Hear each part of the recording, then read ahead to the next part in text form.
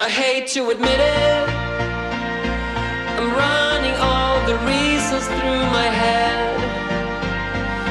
6 a.m. and we've come to an end.